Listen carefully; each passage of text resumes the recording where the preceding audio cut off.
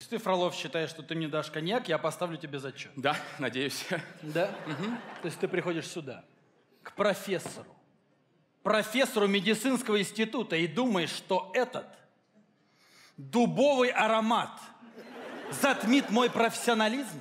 Да. Что этот букет из чернослива, ванили и м, карамели даст возможность получить тебе зачет? Да. Вот что я с этим сделал, Да, Фролов, а? что вы- Вот, Фролов! Дмитрий- Как ты смеешь приходить сюда, в альма-матер науки, и предлагать мне такое? Отвечай, мразь! Отвечай!